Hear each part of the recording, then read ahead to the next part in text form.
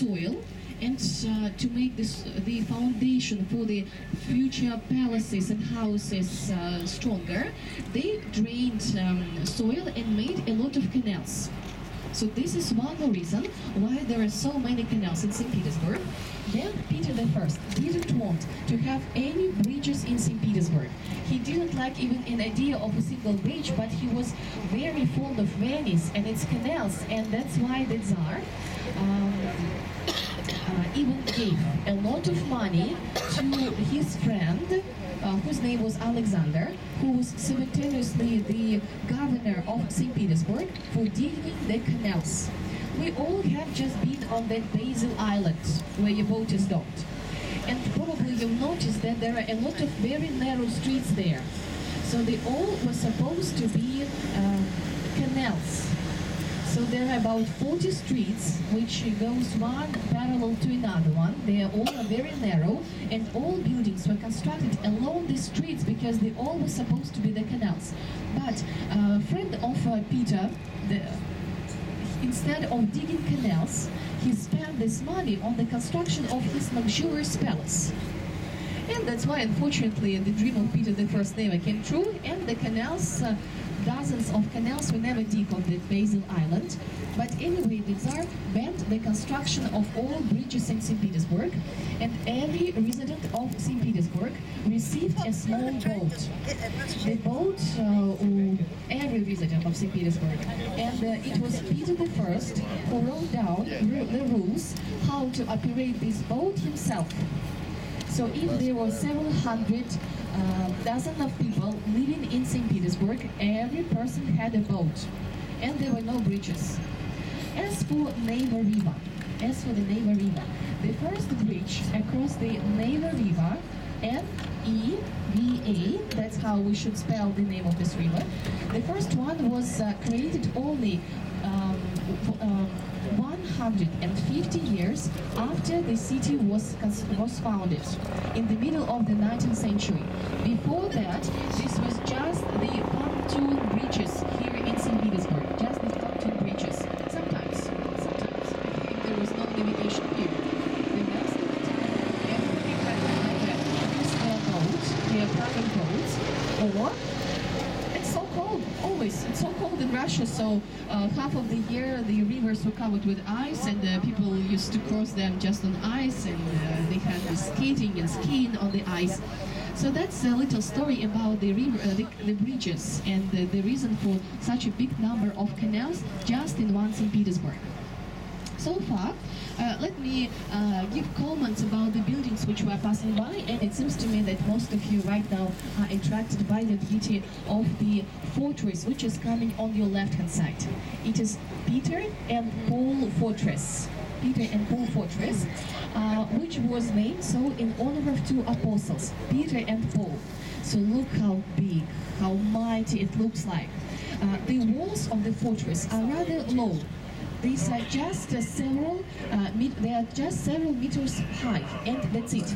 In comparison to the fortresses which were constructed, let's say in 15th century, in 16th century, uh, and the walls were very high in order for enemies not to reach it, these walls are so low, and still this fortress never saw an action. Nobody ever tried to capture it. That's because uh, the uh, fortress has such a plan uh, of a prolongated hexagon with six bastions and two ravelins that the perimeter of the fortress is very, very big. The fortress is about two kilometers in perimeter, uh, which helped to place hundreds of cannons on top of it. Hundreds of cannons. And that's why in the 18th century it was much more important to have a big number of cannons on the walls to protect the fortress. Uh, right now, uh, the grounds of the fortress are used as the museum, but in all days it was a uh, military fortification uh, with a lot of buildings which were constructed for the soldiers, which were made uh, as houses for the artillery, and also there was the prison simultaneously here. Now there are about 20 museums on the grounds of this fortress. 20 museums. But uh, this fortress is tremendously popular not only because uh, of these museums, but mostly because of the sand beach, which we all can see so well. Uh, yesterday, when we visited the fortress, it was the usual day of the week, so you couldn't see a lot of people there. But believe me that when this is the day off, there are hundreds of people uh, on the island of that fortress, sustaining, enjoying themselves on this beach because it's the only place where Russians can find one in the city center. Uh, well, so lucky with the weather, at least in the morning, but um, it tends to be cloudy again, but don't be disappointed because usually, uh, according to statistics, there are only 60 days of sunny weather a year. 60 days a year here in St. Petersburg. Uh, of the weather, which is perfectly sunny. No wonder that there is the joke about the weather uh, popular in St. Petersburg that there are nine years uh, nine months of expectations and uh, three months of disappointment here in St. Petersburg. And that's very typical for the city. That's why every little chance uh, local people used to get some vitamin D. That's for sure. Right on the grounds of this fortress, which they also use uh, for uh, different championships like volleyball. Um, some sand sculpture competition, contest, uh, and, and other, other things. So the fortress is still tremendously popular. Then on the grounds of the fortress, it's very easy to see uh, the uh, cathedral, which we visited yesterday, which is the tallest structure in the city center. The, the height of the spire of the cathedral is 122.5 meters high, 122 and a half which must be uh, equal to 360 feet, I would say.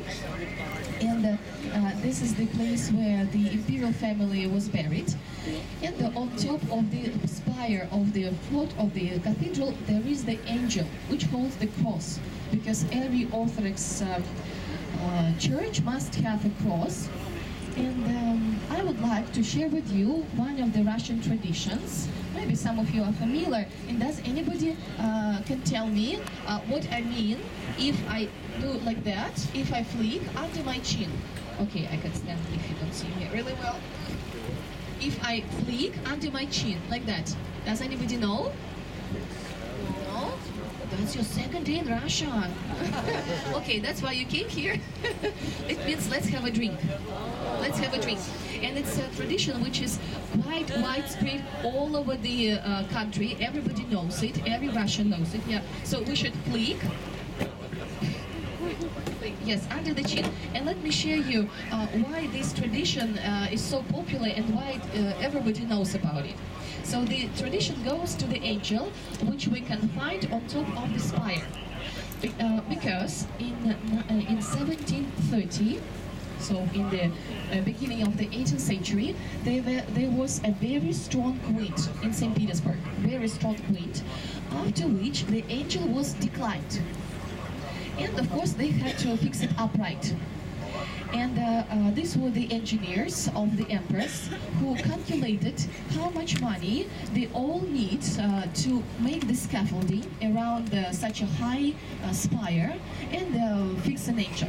And then the Empress, when she was showing the numbers, she was shocked with a very high price for the scaffoldings, and she refused to waste so much money. And then she ordered to find a very strong man who would be eager enough to climb on top of the spire without any scaffoldings and uh, uh, fix the angel himself. And what do you think? They found such a fool.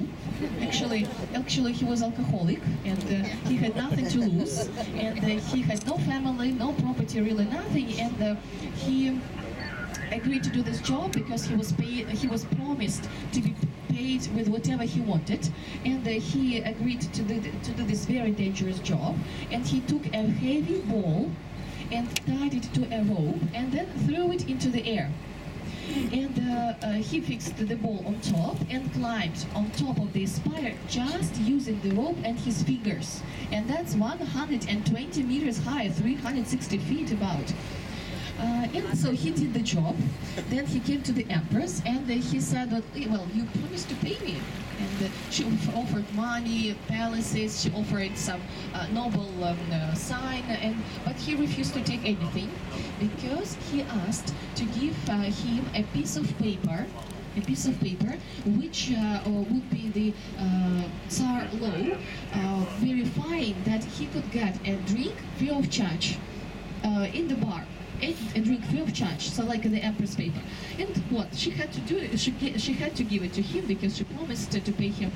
But of course, uh, very soon he lost it. Uh, and that's why uh, when he came back and said, well, I'm sorry, I lost the paper, could you give me another one? She decided to make a tattoo on his uh, neck under the chin. So that he came and uh, uh, showed his tattoo under the chin and everybody must give him this uh, free shot. Yeah, and it's not just a fake story which I want uh, you to, to hear.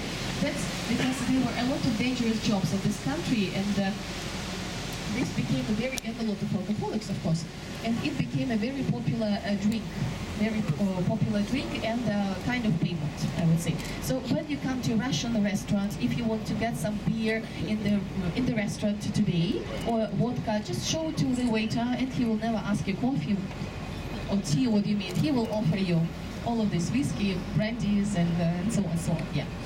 Well, what about the other sides which we are passing by? Now, on your left-hand side, let me draw your attention uh, at this glowing uh, little dome, which we can see uh, on your left-hand side. This is the chapel, which was constructed in 2003, right on top of the place where the Orthodox Church of Holy Trinity was destroyed. This uh, chapel on your left-hand side. Uh, there were thousands of churches destroyed by the uh, Soviet government. Thousands of churches all over the country. Maybe you remember this St. Isaac's Cathedral or the Church of the Spilled Blood. Fortunately, they were not destroyed, though the, some of them were filled in with gunpowder, and the decision to explode it was cancelled at the last moment. But uh, thousands of churches were destroyed, though officially religion wasn't forbidden. Officially, it wasn't forbidden, but if the person wanted to have a nice job, uh, to have a career, and didn't want to have problems with KGB, he was not supposed to go to churches. But people were really afraid of KGB. Believe me, that uh, this organization scared everybody, especially in 1930s. Let me share one of the anecdotes uh, with you to give you how bad the KGB was in comparison to right now. Uh, uh, and uh, this is the joke which happened in the Kommunalka flat. Kommunalka flat, that's the flat uh, which uh, uh, had several families living in it. So at the Soviet time, Soviet government usually gave one family just one room in the flat. And if the flat here in the city center had, let's say, five, seven rooms, there were five or seven families living there who had to share a kitchen, share a bathroom. And uh, so that uh, story about KGB happened in this Kommunalka flat. Uh, so just imagine, 1930s, and this was um, nighttime, and uh, and everybody heard the knock of the door, knock, knock, knock, and they all were so scared. They they were sure that this was the KGB officer who uh, came to arrest one of them, and they all were so scared. And then they heard it again, knock, knock, knock they all pretended that they were asleep. But then the oldest uh, person who was living in that flat, uh, he said, "Well, I'm the oldest. I've had such a long life. What should be I afraid of? Let me be the bravest. Go outside and check what's happening." And uh, he went outside, and uh, he uh, came back and said, "Comrades, comrades, don't worry. It's only fire." You see, they were not so much afraid of fire as the KGB, but uh, uh, that's why a lot of people didn't visit the churches, and uh, a lot of them were destroyed. Unfortunately, the ones which were not destroyed were turned into, let's say, uh, temples of, uh, of like museums of atheism, kindergartens, uh, prison, mental hospitals, and, and so on, so so on. Then also on your uh, left-hand side. Uh, very soon we're going to pass by the long yellow building, uh, which is the apartment house. The long yellow building on your left hand side. The apartment which was constructed uh, in the early 20th century by the order of the Soviet government, uh, who uh, decided to give uh, flats in this apartment free of charge to the political prisoners. Political prisoners. So the ones who were imprisoned by the order of Nicholas II and his uh, father. So political prisoners. And now it is one of the most prestigious places to live because look, just imagine what view they have uh, through the windows and uh, it's the city center. Got the quality of the building is the best because at Stalin time they all everything was the best. They were so afraid of him that uh, they did their job very well. And on top of this long yellow building on your left hand side uh, there are two statues. The statue of the walker and the statue of a soldier. So these are representative of two main classes of the Soviet Union. Then let me draw your attention on your right hand side. Now we are passing by this long chain of the buildings. Uh, I, I, I hope that with all of my stories you don't forget to enjoy the panorama uh, during our chance to see city from the water. So I would like to draw your attention at these palaces. So they belong to the richest families of Russia to the millionaires who, who, who, had enough money to have their palace right in the city center. And uh, talking about the blue one, which is on your right hand side, this is the palace which belonged to a famous uh, Russian uh, general, Kutuzov. Kutuzov. This name must be familiar because we saw the portrait of Kutuzov yesterday in the Hermitage. This was the main general of the Russian army during the Napoleonic War which was of course very important uh, for Russians. And uh, Kutuzov uh, was the best general, and unfortunately he was uh, wounded during the war, and he died quite quite soon after the war. Uh, but uh, the embankment, which is on your right-hand side, is named after him, Kutuzov Embankment. As for the rest of the structures which are coming on your right-hand side, so look at its elegant atmosphere. So that's why I like St. Petersburg so much. I think that that's the most romantic, the most elegant and peaceful city you can find in the whole country. Well, uh, that's the only city which you see in this country. so you just should trust me. that's, that's the best. And uh, uh, that's because after the construction of the Winter Palace, it was forbidden to make uh, any anything else uh, higher than the Winter Palace. That's why all uh, structures of St. Petersburg, which were constructed before the Soviet time, they all are so flat. They are not higher than 22 meters high. Uh, and they have two, three, or sometimes four storms. So that's why the city looks so peaceful and so harmonious because uh, all the buildings are very low. Uh, then all of them have pale colors, pale colors and uh, like yellowish, uh, pinkish, bluish, greenish. Peter the First uh, wanted uh, St. Petersburg to look like Venice, and he didn't want gloomy buildings to be constructed in the city. And that's why if somebody wanted to have the facade colored in dark color, like dark gray, dark brown, they had to pay a lot of taxes a lot of taxes. Sometimes the tax was uh, the tax was equal to about uh, the the cost of the whole palace. So that's why most of the, the majority of palaces in St. Petersburg are very uh, pale. And then um, on your uh, right hand side there is the view to the Neva River. Um, well, the river is rather short. That's the direction to the middle of the country, to Lake Ladoga and uh, that's the, also the area where St. Petersburg will be over soon. Then on your uh, right hand side also there is this uh, low yellow building. Do you see it so far? Yeah? On your, coming on your right but straight ahead over there. Uh, the low uh, yellow building, uh, which was one of the first stone construction stone buildings constructed in St. Petersburg. This is the building of the uh, military hospital. Military hospital, which was constructed at the time of Peter I. By the, by the way, the Tsar uh, learned medicine himself as well, but unfortunately all his patients died, so um, he was a good Tsar but not a very good doctor. Unfortunately, he gave up and, uh, um, and uh, gave it just to professionals to take care of the uh, soldiers. So that was the military hospital, one of the first stone buildings of St. Petersburg, and it's still a hospital. Still hospital. And I once, I remember, I was uh, walking next to the facade of this yellow building, and uh, a hospital for soldiers, and uh, it's of course uh, forbidden to smoke inside. What I remember, there was the box tied to a rope hanging from the second floor with the words, "Oh, please put a cigarette into it," like that. But cigarettes are not expensive, unfortunately. It's, uh, one pack costs just a couple of dollars, so smoking is a big problem. But the government tries to fight with it, and uh, probably little by little the situation will change soon. Then, on your left-hand side, in a distance, uh, we are coming closer and closer and closer to a big gray boat, uh, which is called Cruiser Aurora. Cruiser Au- Aurora. Yeah. So this three-chimney gray boat, we're coming closer, so you definitely all will be able to see it. This is the boat which was launched in uh, uh, 1903 for the Russian-Japanese War. Unfortunately, Russians, uh, for Russians, of course, lost that war.